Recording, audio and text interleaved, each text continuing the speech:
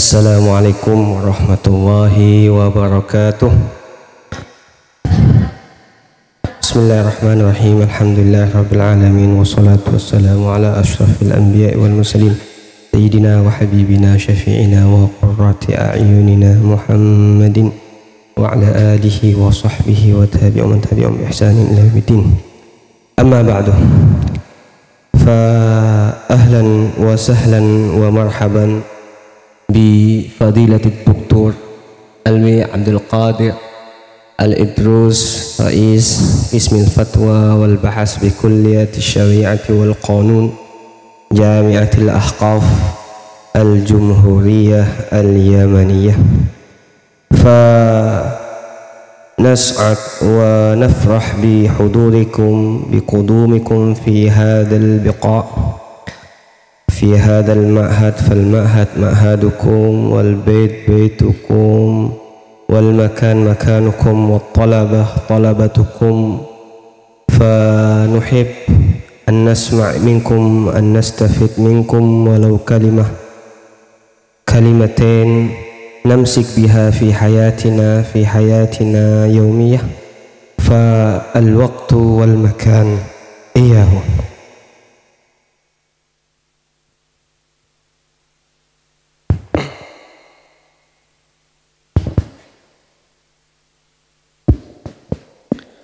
بسم الله الرحمن الرحيم الحمد لله رب العالمين والصلاة والسلام على أشرف الأنبياء والمرسلين سيدنا ونبينا محمد وعلى آله وصحبه أجمعين Setelah Ad-Doktor membuka dengan bacaan basmalah dan hamdalah serta salawat dan salam kepada baginda Muhammad sallallahu alaihi wasallam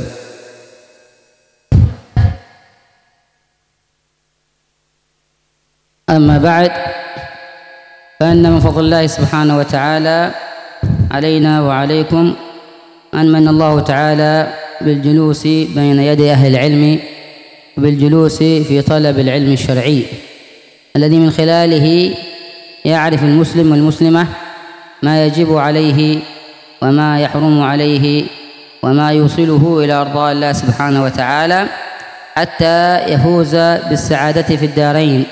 سعادة الدنيا وسعادة الآخرة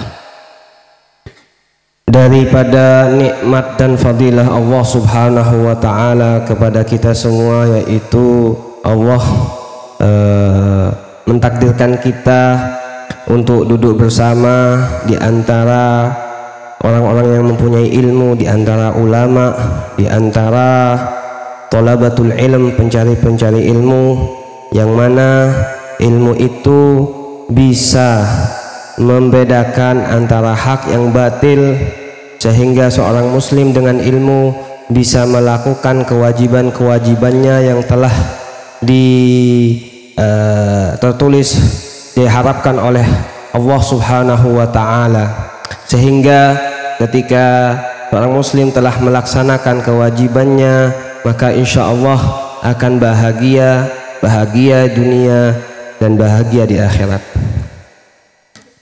فمن خلال المعرفة والعلم تعرف الواحدة منا ما يجب عليها وما يحرم عليها وما ينبغي أن تفعل. لمرضاة الله عز وجل وما عد الله عز وجل لها إذا هي امتثلت لأمر الله سبحانه وتعالى وأتت بواجباته وانتهت عن نواهيه ومحرماته. Daripada ilmu itu kita bisa mengetahui apa yang wajib. Yang wajib kita kerjakan apa yang tidak boleh yang haram kita kerjakan sehingga kita bisa mendapatkan ridho Allah subhanahu wa ta'ala sehingga kita bisa melaksanakan perintah-perintah Allah subhanahu wa ta'ala فما يجب على الرجل يجب على المرأة مما يجب أن تعرفه من أحكام شرع الله سبحانه وتعالى. وقد كانت السيدة عائشة عليها رضوان الله تقول رحم الله نساء الأنصار لم يكن الحياء يمنعهن, يمنعهن من التفقه في الدين أو كما جاء عنها رضي الله تعالى عنها وأرضاها. Apa yang wajib terhadap laki-laki juga wajib terhadap perempuan sehingga ada riwayat dari Sayyidina Aisyah uh, merahmati Allah uh, wanita-wanita Ansor يمنعهن الحياء من التفقه لم يكن رحمه الله نساء الأنصار لم يكن الحياء يمنعهن من التفقه rahmat Allah Subhanahu wa taala kepada wanita-wanita Ansor yang mana uh, perasaan malu tidak membuat mereka melaksanakan apa yang telah diperintahkan oleh Allah Subhanahu wa taala dalam agama Islam. هذا الحياء الذي هو شعبة من شعب الإيمان كما جاء في الحديث عن رسول الله صلى الله عليه وسلم وهو أمر حسن أمر مطلوب أمر مشروع لكن لما يكون سببا لعدم للجهل بأحكام الله عز وجل فإنه يكون مذموما rasa malu ini di yang ada dalam uh, kalangan perempuan kaum perempuan adalah uh, sebuah uh, iman adalah sebagian daripada iman فالحياء مطلوب من الرجال ومن النساء وهو من النساء أشد طلبا وأكثر طلبا. فأن المرأة شأنها أن تكون حيية أن تكون آه، ساكنة في بيتها أن تكون صارفة وقتها فيما في أمور بيتها وما يهمها من أمور دينها ودنياها. Maka rasa malu ini sangat dianjurkan baik untuk laki-laki dan baik untuk perempuan. Akan tapi untuk perempuan itu lebih dianjurkan lagi. Maka diharapkan bagi perempuan mempunyai rasa tenang mempunyai rasa sakinah mempunyai rasa tanggung jawab. Baik itu tanggung jawab apa-apa pekerjaan di rumah tangganya pekerjaan di sekolahnya dan seterusnya. من حيائها أن تخضع لا تخضع في قولها. كما قال مولى عز وجل في حق نساء النبي لستن كأحد من النساء إن اتقيتن فلا تخضعن بالقول. فلا تخضعن بالقول فيطمع الذي في قلبه مرض. وقلنا قولا معروفا. Dan daripada rasa malu itu jangan sampai ikut Eh, tergiring dengan lisan perempuan yang mana telah diriwayatkan dari baginda Nabi Muhammad Shallallahu Alaihi Wasallam apabila mah perempuan itu bertemu sama lain maka jangan sampai uh, lepas kontrol berkatalah dengan perkataan-perkataan yang baik. Linu fil والكلام الناعم قد يكون سبب والعياذ بالله في إثارة الفتن وسبب لوقوع المرأة ووقوع البنت فيما لا يرضي الله سبحانه وتعالى. فلهذا نهى ربنا سبحانه وتعالى نساء النبي وهن أطهر النساء بقوله فلا تخضعن بالقول فيطمع الذي في قلبه مرض. أي قلوب أصفى من قلوب نساء رسول الله صلى الله عليه وآله وصحبه وسلم؟ وأي قلوب أتقى من قلوب أصحاب رسول الله صلى الله عليه وآله وصحبه وسلم. ولكن مع ذلك كله فإن الشيطان يجري من ابن آدم مجرى الدم. ولهذا كان لزاما أن يبتعد الإنسان عما يكون سبب لفتح باب الشيطان الذي يدخل منه إلى ما إلى أن يفعل المسلم. وتفعل المسلمة ما لا يرضي الله سبحانه وتعالى. فقال عز وجل فلا تخضعن بالقول فيطمع الذي في قلبه مرض وقلنا قولا معروفا maka ada juga lembut ketuturan lembut bicara juga bisa menyebabkan salah satu fitan salah satu fitnah salah satu kecelakaan maka dari itu jagalah lisan kalian jangan sampai kalian ikut pada lisan kalian ikut senang tidak ada kontrol dalam lisan kalian. Karena bagaimanapun juga uh, syaitan itu berjalan atau ada di di nadi kita berjalan seperti jalannya darah kita di badan kita. Maka dari itu jagalah lisan kalian jagalah perkataan-perkataan kalian maka yang wajib dicontoh di sini adalah Rasulullah Sallallahu Alaihi Wasallam tidak ada hati yang lebih bersih dari hati Rasulullah Sallallahu Alaihi Wasallam tidak ada yang lebih dicontoh diteladani daripada sahabat-sahabat Rasulullah sallallahu alaihi wasallam. Bagaimana mereka berbicara, bagaimana mereka bersikap.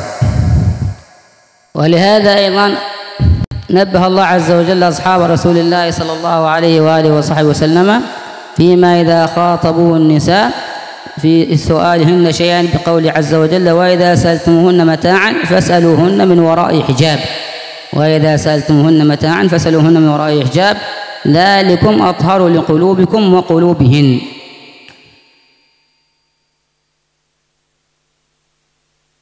fikir fikir ada maka dari itu Rasulullah Shallallahu Alaihi Wasallam telah memberikan arahan kepada sahabat-sahabatnya yaitu apabila kalian menanyakan perempuan-perempuan kalian wanita-wanita kaum wanita maka tanyakanlah dari belakang satir.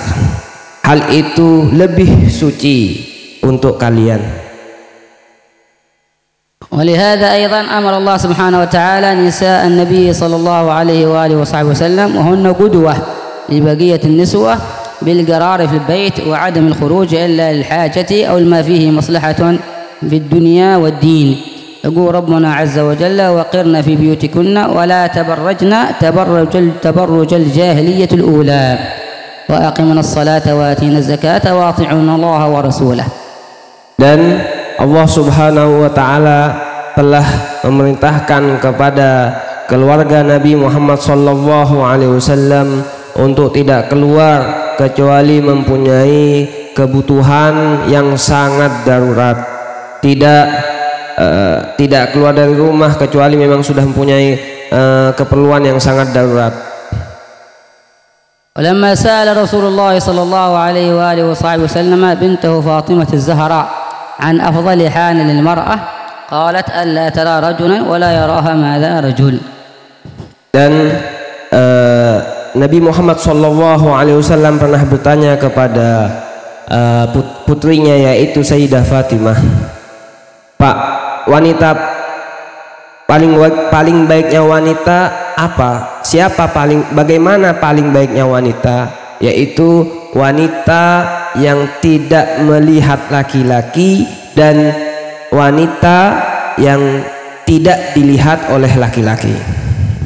ولهذا أيضا قال رسول الله صلى الله عليه وآله وصحبه وسلم للسيدة أسماء عليها رضوان الله أسماء إن المرأة إذا بلغت سن المحيض لا يصح أو لا يجوز أن يرى منها إلا هذا وهذا وأشار صلى الله عليه وآله وصحبه وسلم ila wajhihi wa dan Rasulullah Shallallahu Alaihi Wasallam telah mengarahkan kepada Asma putri putrinya yang bernama Asma bahwasanya ketika perempuan sudah menginjak tahu, uh, umur baligh beliau mengatakan kamu tidak boleh kecuali kamu tidak boleh terlihat kecuali ini dan ini. Ini dan ini menunjukkan Rasulullah Shallallahu Alaihi Wasallam kepada mukanya dan kepada telapak tangannya. والمقصود من هذا كله الحفاظ على المرأة وألا تكون المرأة عرضة لأن تتأذى بنظرات الرجال أو بأفعال الرجال وكل ذلك حصانة وكل ذلك حفاظا على المرأة فالمرأة في نظر الإسلام شيء قيم شيء غالي درة غالية ولهذا فإن الشيء الغالي يحرص على حفظه ولا يعرض للامتهان من كل أحد.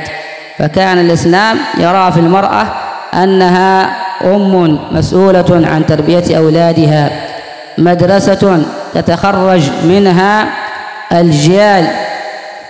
المجتمع كله يخرج من تربية المرأة فهي مدرسة وهي قدوة لأولادها وقدوة لبناتها فكان من شأنها أن تكون غالية أن تكون عزيزة أن تكون بعيدة عن مواطن التهم أن تكون بعيدة عن عن الابتذال. فالأم مدرسة كما قال قائل إذا عددتها عددت شعبا طيب الأعراق.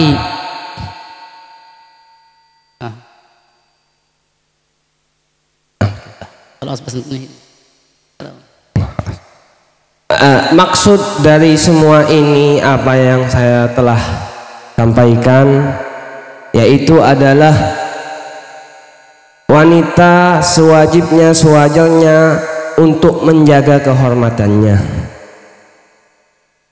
Wanita adalah sebuah harga sebuah sebuah sebuah permata yang berharga. Bagaimana apabila permata itu dilihat apabila permata itu ditontonkan maka tidak layak. Maka se sebaiknya permata itu dijaga. Jangan sampai dilihat jangan sampai ditawar-tawarkan. Karena ini wajib dijaga.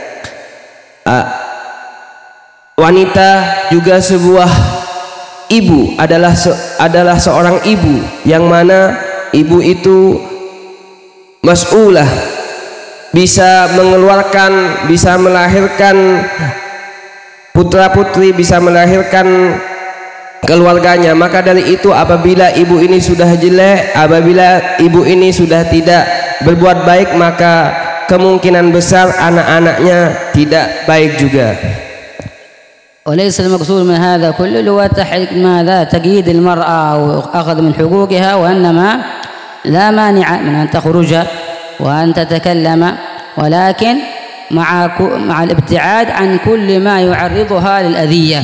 الابتعاد عن كل ما يعرضها للنظر. الابتعاد عن كل ما يمنعها من الوقوع في مطامع الرجال الذين لا لا يرون من المرأة ولا يريدون من المرأة إلا كل سوء. لا بأس تخرج ولكن إذا خرجت تخرج بالحجاب الشرعي. تتكلم لكن إذا تكلمت من غير خضوع من غير ما يثير له يثير الأطماع. من من من في قلوب من من ليست قلوبهم ماذا؟ طاهرة. إذا آه، عملت في عملها تكون محتشمة بلباسها بزيها من غير أن من غير أن آه، تخضع بالقول من غير أن آه، تذكر شيء أو تعمل شيء أو تفعل شيء مما قد يثير فيها الأطماع من التصاوير أو نحو ذلك فإن الإسلام كرم المرأة. واحترمها وجعلها درة غالية نفيسة فهو يمنع منها الأطماع ويمنع منها ما, ما يأخذ من, من حيائها وما يأخذ من حشمتها وما يأخذ من مكانتها. Hal ini bukan karena Islam ingin membatasi sikap-sikap atau kebebasan-kebebasan daripada uh, seorang wanita? Akan tetapi Islam ingin menjaga kehormatan wanita menjaga daripada godaan-godaan laki-laki yang tidak baik menjaga dari gangguan-gangguan mereka. Maka dari itu apabila kalian keluar dari rumah maka keluarlah dengan pakaian syar'i pakai jilbab. Setelah itu apabila kalian berbicara maka berbicaralah berbicaralah sepentingnya jangan sampai terlalu lama sehingga membuat orang lain menjadi gelisah uh, maka dari itu hal ini menunjukkan uh, bahwa agama Islam menjadikan sebuah wanita sebagai permata yang berharga maka dari itu jagalah permata ini نسأل الله عز وجل أن يوفقنا لكل خير وأن يجعلنا من أهل الخير ويجعلنا من يستمعون القول فيتبعون أحسنه. آمين. إنه على ما يشاء قدير والإجابة جدير والعفو منكم. آمين. آه الآن آه نطرح لكم الأسئلة سؤال سؤالين. حتى الحبيب يسمع منكم.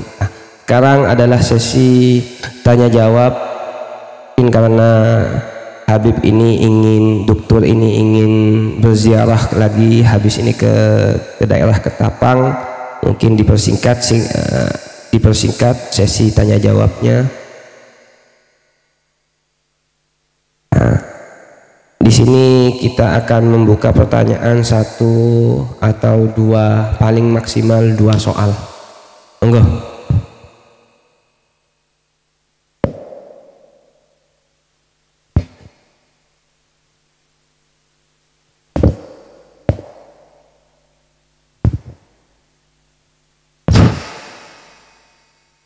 Assalamualaikum warahmatullahi wabarakatuh. Bismillahirrahmanirrahim. Qala azza wa jalla ya ayyuhalladzina amanu idza qumtum ila sholati faghsilu wujuhakum wa aydiyakum ila al-marafiq wamsahu bi ru'usikum wa arjulakum ila al-ka'bayn. Qala Jalaluddin Asyuti fi tafsirihi qawluhu wa arjulakum bin nasbi atfan ala aydiyakum wa أرجلكم وهو قراءة ابن كثير غيره. هذا وإن كان وردا إلا أن التخريج عليه ضعيف. بضعف الجوار من حيث الجملة وأيضا فأن الخفض على الجوار إنما ورد في العطف في النعت لا في العطف. وقد ورد في التوقيت قليلا في ضرورة الشعر. لأن الجوار ولأن الجوار ولأن الجار بالجوار لا يرتكب إلا عند أبن اللبس. وهذا لا يؤمن وأيضا شرطه أن يكون بدون عاطف والعاطف هنا موجود. لكن حين نقول بالنصب ظهر لنا أن العامل هو امسحوا لا فاغسلوا لأن الأولى إعمال الأقرب منهما حتى قال بعض العلماء لا يجوز أن يكون العامل فاغسلوا لما يلزم عليه من الفصل بين المتعاطفين بجملة مبينة حكما مستقلة ليس فيها تأكيد الأول وليست هي اعتراضية. وعلى هذا سواء قرئ بالنسب أم بالجار الظاهر والمتبادر عندنا أن الرجل ممسوح لموصولة. وهذا مشكل لأنه ورد كثير من الحديث بإيجاب الغسل ولا يجد قول من أقوال المذاهب الأربع بمس الرجل في الوضوء إلا في مسألة الخف. السؤال ما رأيك في هذا التوجيه والتخرج بالنسبة إلى الفقه وما ينبغي علينا في فهم هذه الآية؟ شكرا. آه نعم جزاك الله خير على السؤال. لا شك أن السنة السنة المطهرة مبينة للقرآن الكريم. وقد جاء في الأحاديث عن رسول الله صلى الله عليه وسلم في صفات وضوئه أنه يدير الماء على ماذا؟ على رجليه.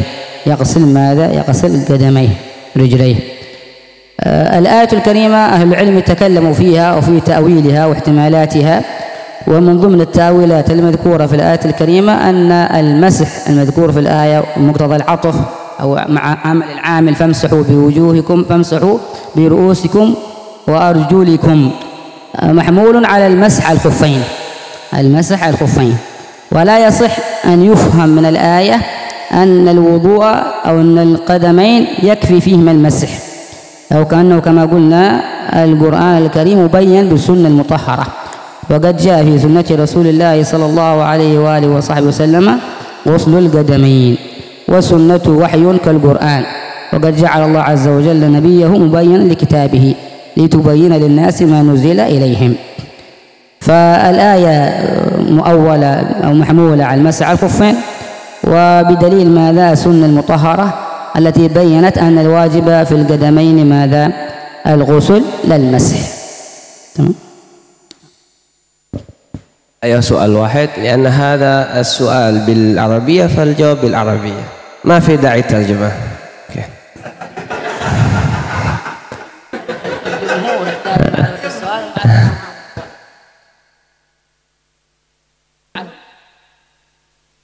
لأن قال الجمهور يحتاج إلى معرفة السؤال أولا حتى يعرف معرفة الجواب.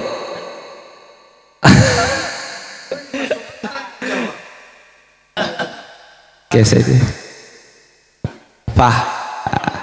mungkin هذا بعدين يفهم هذا ابن المدير آه الفكرة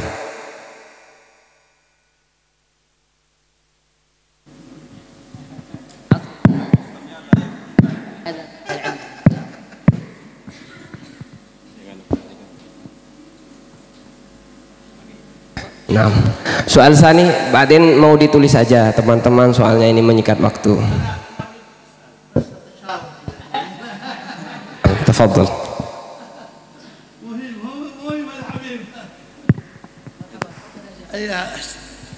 بسم الله الرحمن الرحيم لأن هذه المسألة مهمة عندي أنا آه، خاصة في إندونيسيا لأن هذه هي سنوات انتخابية سنة قادمة إن شاء الله انتخاب آه، العام لرئيس جمهورية إندونيسيا.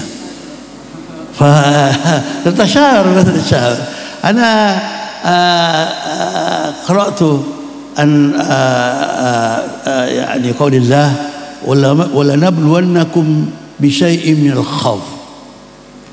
فهناك آية أخرى آه قال الله تعالى آه وما كنا معذبين وما كنا ليعذبوهم وما وأنت فيهم.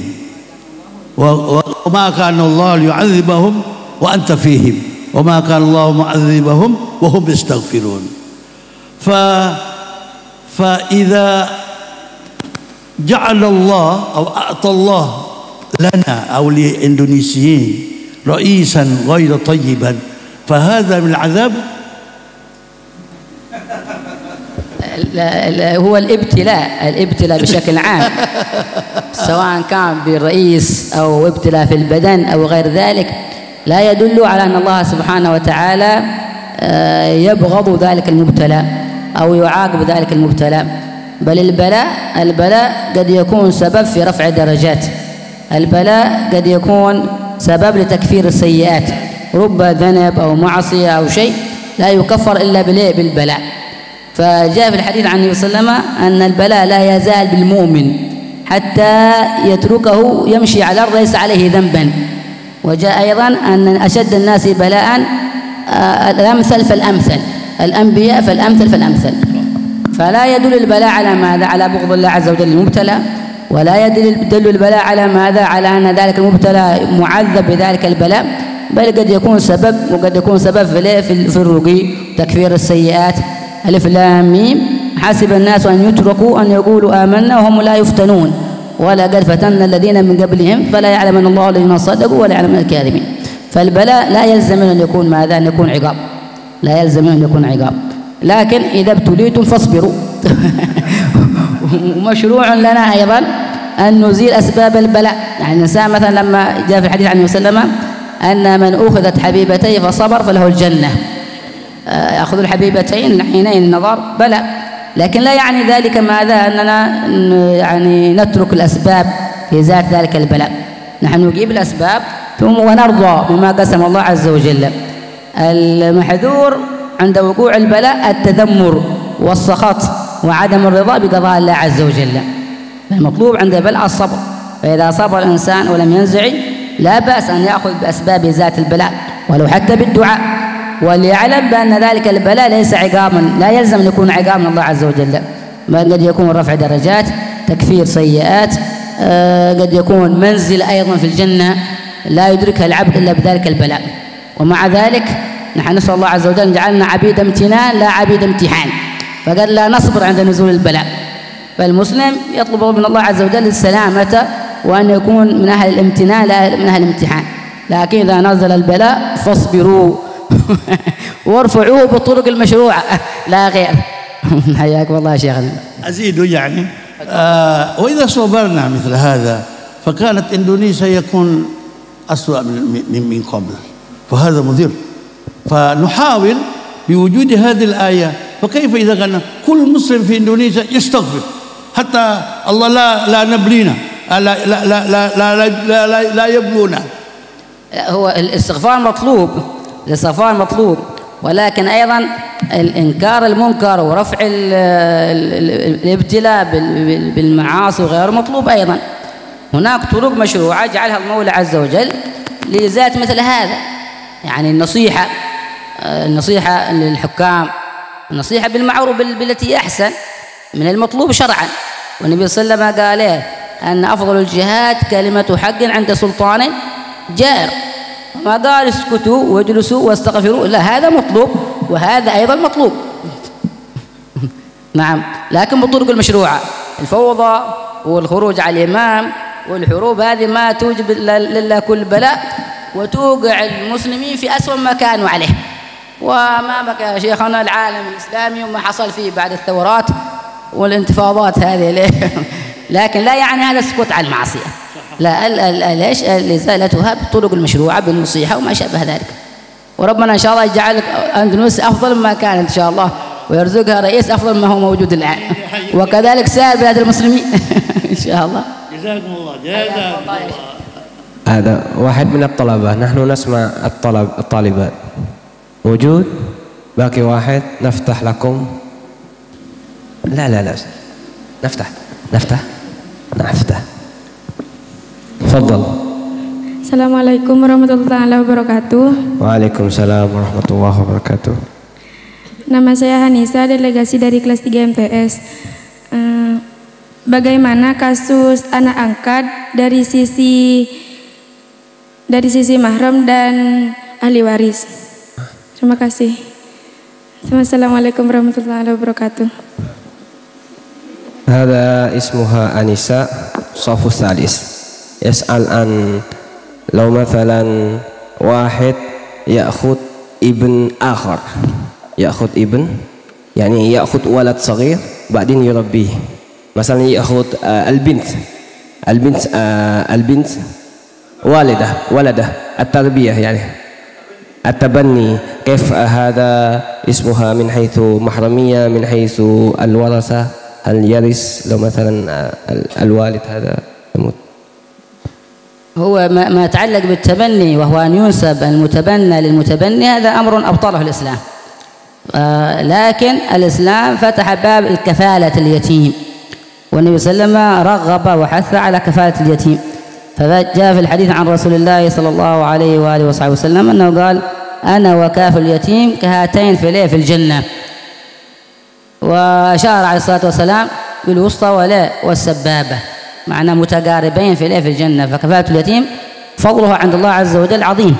لا مانع للإنسان مثلا أن يأخذ يتيما يربيه وينشئه على, على الإسلام ولكن مع ذلك إن لم يكن ثمة رضاع إذا لم تكن مرأة كافل اليتيم مثلا رضعت ذلك الصبي قبل الحولين خمس رضعات معلومات متفرقات آه، إذا ما في رضاع محرم فيبقى ذلك اليتيم ماذا؟ يبقى ذلك اليتيم أجنبي بالنسبة للرجل وبالنسبة للمرأة وكذلك أيضا بالنسبة لأبنائهم وأقاربهم.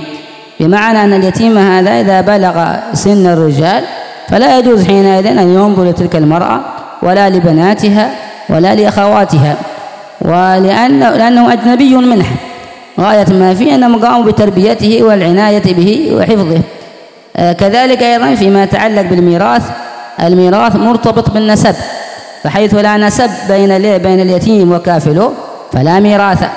لكن كما قلت لكم من حيث المحرمية إن كان ثمة رضاع لليتيم قبل سن الحولين رضاع كامل بشروطه المحرمة فإن تلك المرضعة إذا كان زوجة كافل اليتيم تصبح أما له من الرضاع. ويصبح الرجل كافل ذلك اليتيم الذي أرضعته تلك المرأة أبا له من الرضاع. ويصبح كذلك ماذا؟ أبناؤه أخوان له من من الرضاع وآباؤه أجداد له من الرضاع وهكذا كما هو معروف في كتاب الرضاع عليه في كتب الفقه. وينتشر التحريم من مرضع إلى أصول فروع والحواشي في الوسط. ومن له در إلى هذه ومن رضيع إلى ما كان من فرعه فقط. هو أمر مبين في كتب له كتب الفقه. فيفرق بين حالين.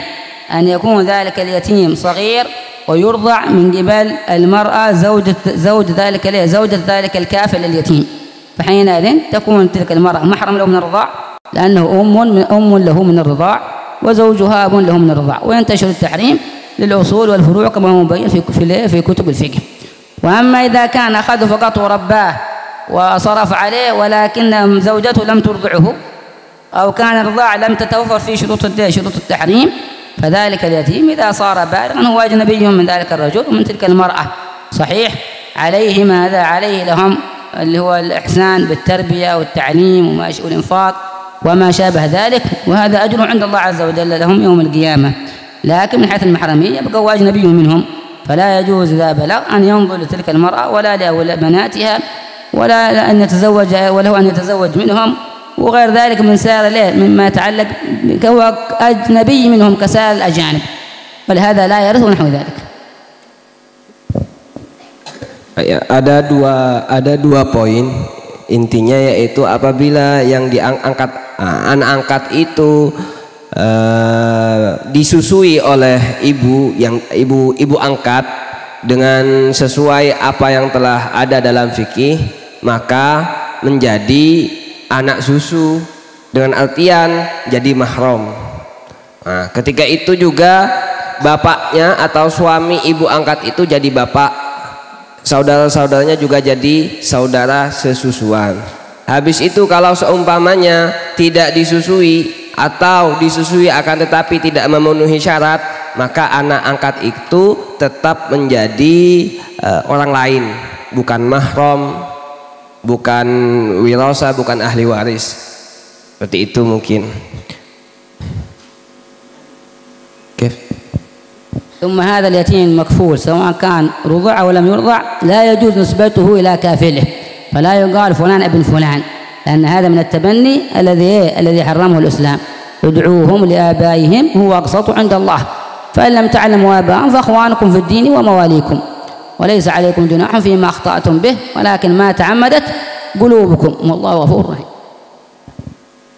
juga tidak bisa dinisbatkan kepada bapak yang maksudnya bapak yang apa ya yang ngangkat ya. jadi tidak bisa masalah fulan ibn bapak yang angkat tidak bisa seperti itu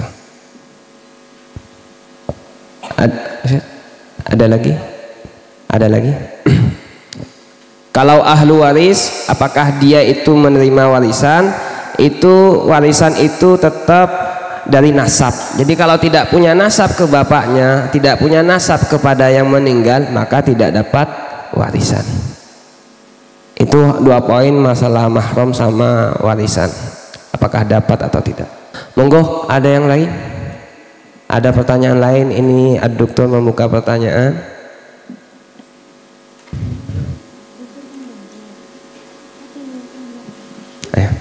Fadol. Nanti kalau yang dokter pengen melihat pertanyaannya benar ya, coba dipisahkan. Monggo. Assalamualaikum warahmatullahi wabarakatuh. العفو يا سيد بالنسبة إلى النقاب لو كانت المرأة التي تريد الاستقامة في لبس النقاب وما أهلها لم يرضى يعني والدها. أما زوجات زوجها هذا يرضاه كيف هذا رأيكم يا سيد بالنسبة للنقاب الواجب وهو أن تلبس المرأة ما لا يبدي شيئا من مفاتنها آه، وتستر جميع بدنها إلا الوجه والكفين كما هو رأي عند الشافعية آه، حيث لم تخشى الفتنة. فإذا كان زوجها أو أبوها أراد منها أن تستر شيء مما أوجب الله تعالى ماذا ستره فأن تبدي شعرها أو شيء من يديها أو ساعدها أو نحو ذلك. فحينئذ لا لا يجوز للمرأة أن تطيع أباها لأنها بطاعتها لأبيها في هذه الحالة تعصي الله عز تعصي الله سبحانه وتعالى. ولا طاعة لمخلوق في معصية الخالق. وأما إن كان ما يطلب منها أبوها مما لا يتعارض مع الشرع وهو مع التزام المرأة به تأمن أيضا من الرجال وتأمن من الفتنة فحينئذ آه، أبوها لا يأمرها بمعصية وطاعته تكون حينئذ ماذا؟ واجبة على أن طاعة الزوج طاعة المرأة لزوجها مقدم على طاعتها لأبيها فالزوج أحق بالطاعة للمرأة من ماذا؟ من أبيها بعد نكاحها. ولكن كما قلت لك إذا كان ما يأمره بها أبوها ليس فيه مخالفة للدين ليس فيه معصية آه، والزوج أيضا ممكن يرضى بما أمرها به أبوها فلا مانع من ذلك. لكن مع الأمن من الفتنة إذا مثلا يريدها أن تبدي وجهها وكفيها وكانت في مأمن من الفتنة وزوجها رضي بذلك لا مانع من ذلك. وأما كان زوجها منعها أو لم يمنعها زوجها ولكن تخشى أن هي أبدت شيء من وجهها وكفيها الفتنة. تخاف على نفسها مثلا.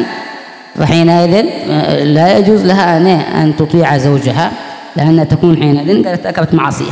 أو كان أبوها يطلب منها أن تبدي شيء من شعرها أو ساقيها ونحو ذلك. فلا طاعة لمخلوق في معصية الخالق. هذه قاعدة مقررة عند أهل العلم. فالحق بالإطاعة هو المولى سبحانه وتعالى أولا وطاعته مقدمة على كل أحد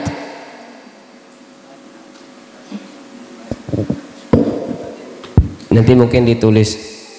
Nanti akan ditulis disebarkan. Monggo ada yang mau nanya lagi dari eh, teman-teman uh, adik-adik perempuan?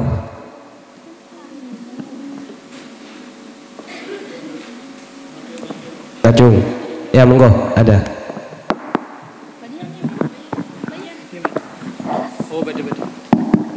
Assalamualaikum warahmatullahi taala wabarakatuh. Nama saya Dian Puspitasari, perwakilan dari kelas 12. Sholat witir, bacaannya rokaat ini, sedangkan itu satu rokaat. Bagaimana pendapat antum? Assalamualaikum warahmatullahi taala wabarakatuh. Siapa namanya? Kelas berapa? Dian Puspitasari dari kelas 12. Ah, kelas 12, kelas berapa? Kelas 3 MA. Oh, kelas 3 MA. Oke. Okay. Ada Yas'al ismuhu Dian Wisatari kelas eh, as-sof as-sof as-sof salis كيف هو يتحير تتحير سيدي صلاة الوتر المكتوب في الكتاب ركعتين لكن في الواقع ثلاث ركعات di ayi kitab di kitab apa itu rokaatain ada dua rokaat itu di kitab apa mungkin mungkin ada ayo mungkin ditambah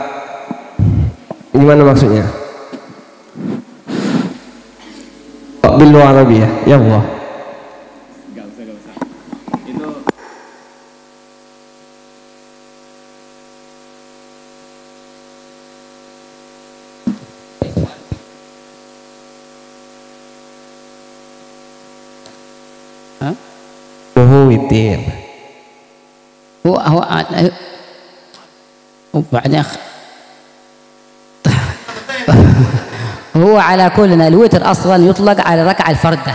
الركعة الواحدة يقال لها ماذا؟ يقال لها وتر. فالوتر ضد الشفع. الشفع اثنان أربعة ست ثمان هذا شفع. والوتر واحد ثلاث إلى آخره. فصلاة الوتر هي سميت وتر لأنها توتر أو بركعة واحدة. أقلها ركعة أو أكمل أدنى الكمال ثلاث ثم خمس ثم سبع ثم تسع وأكثر واحد عشر ركعة. لما أن هذه الصلاة تختم بركعة واحدة يقال ركعاتها كلها ماذا؟ وتر. يقال ركعاتها وتر. بينما بقية النوافل عبارة عن شفع. ركعتين قبل الظهر أو أربع ركعات قبل الظهر وأربع ركعات بعده وأربع ركعات قبل العصر وركعتين قبل العشاء وركعتين بعد العشاء وركعتين بعد المغرب وركعتين قبل وإلى آخره وركعتين قبل الفجر. هذه كلها ماذا؟ صلاة شفع. وصلاة الوتر تختم بركعة واحدة. ولهذا يقال لها وتر. فأصل الوتر العدد الفرد دون ضد الشفع. فما أحد من أهل العلم يقول بأن الوتر ركعتين وإنما هي إما واحدة أو ثلاثة أو خمس أو سبع إلى آخره. ما أدري من إجابة الطالبة هذا ليه؟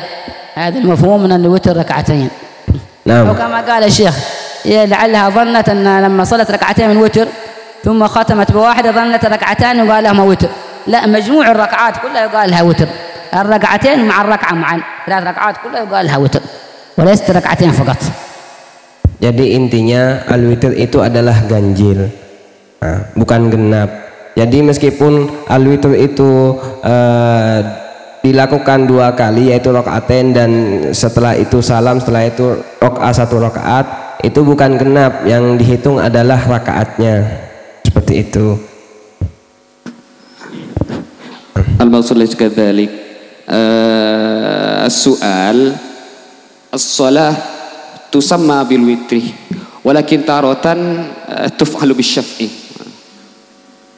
ك يا ماذا تفضل. قلت شيء هي ما تسمى وتر إلا إذا ختمت بركعة. الآن لما تصلي ركعة هي كلها تنوي بها وتر صحيح لكن ليست وتر حقيقة حتى تختمها بماذا؟ بركعة واحدة مفردة. ولهذا بمناسبة مجيء رمضان على كل الإنسان النبي صلى الله عليه وسلم يقول في الحديث لا وتران في ليلة. والإنسان قد يصلي في أكثر من مسجد ما أدري عندكم هنا وعندنا في تريم هناك قد يصلي تصلى التراويح والوتر في أكثر من ركعة. فحينئذ إذا ختم الوتر بركعة صلى مع الإمام ثلاث ركعات. وهو يريد بعد ذلك ماذا؟ أن يكمل ال 11 ركعة. الآن النبي صلى الله عليه وسلم يقول لا وتران في ليلة. فلو فعل الوتر مرة ثانية ثلاث ركعات أخرى لا فعل وترين وسلم يقول لا وتران في ماذا؟ لا وتران في ليلة. فما الطريقة في هذه الحالة؟ يذكر أهل العلم طريقة في ذلك وهو ماذا؟ أن تكمل أن أن تنوي بالركعات إلى تمام الأحد عشر إكمال الوتر. فتصلي ركعتين بنية إكمال الوتر ثم أربع ثم ست ثم ثمان. ويكون مجموع ما صليت 11 ركعة. فيصح في هذه الحالة. ولنا وجه شاذ لكنه ما يصح تقليده. وجه شاذ ذكر الإمام النووي في الروضة أنك بعد إذا أكفلت الوتر إذا أغلقت الوتر بأن صليت ركعة واحدة وتريد أن تكمل بعد ذلك لك طريق لكنه شاذ. لعل مروي عن سيدنا بن عمر وهو ماذا؟ ما يسمى بنقض الوتر. كيف نقض الوتر؟ صلي ركعة أخرى مع الركعة التي سبق أن فعلتها بعدها تنوي بها ليه نقض الوتر فيكون عندك ركعتين. ما في ما في وتر شفع. ثم تكمل إلى 11 لكن المقصود أنه الركعات هذه ما تسمى وتر ولا تكون وتر إلا بفعلها بختمها بركعة واحدة. نعم. jelas ya mau nah monggo kalau ada yang mau nanya lagi.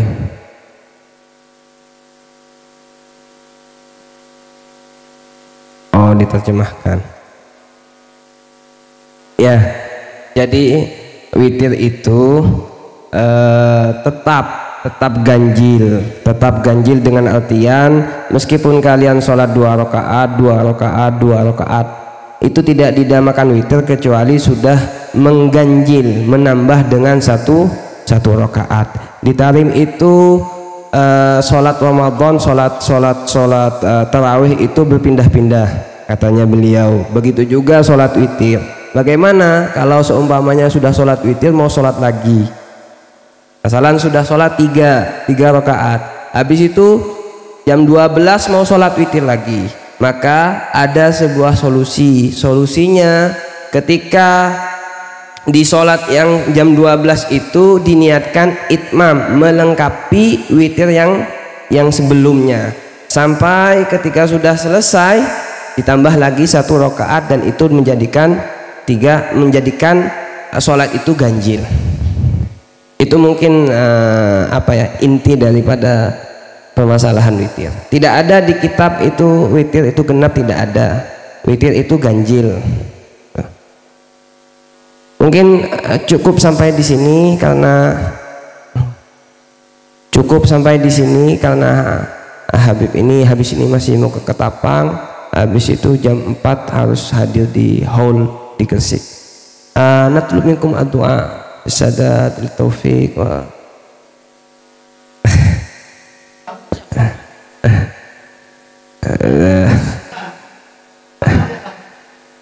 تفضل سيد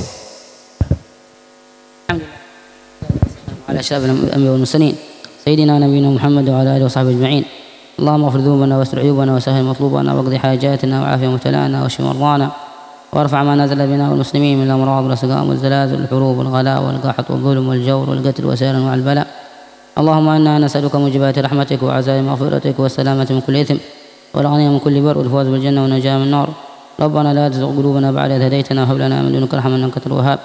اللهم افتح علينا وعلى الجميع فتوح العارفين فقهنا في الدين وعلمنا التأويل.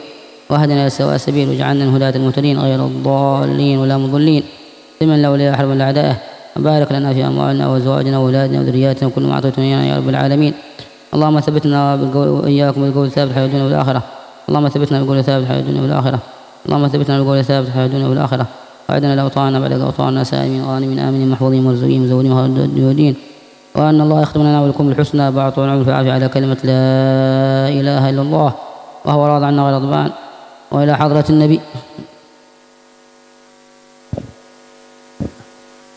الفاتح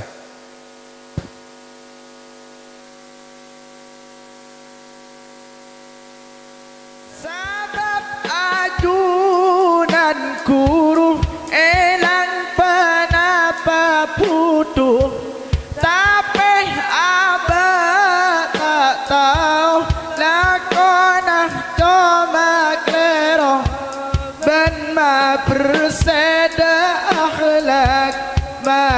bagus dak katengka Nyileni dak nasihat Wajau dak terdekat.